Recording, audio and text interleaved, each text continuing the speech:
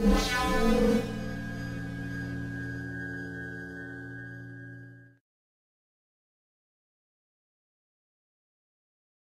السائل هل سحب الدم في رمضان مفطر؟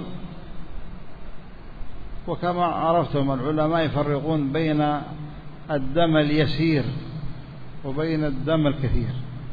إن كان المسحوب من الدم الكثير هذا يفطر.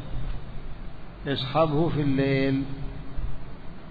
وإن كان من الدم اليسير الذي تفحص الملاريا تفحص السكر الذي فيك قالوا هذا لا بأس لأنه يسير وبالله التوفيق.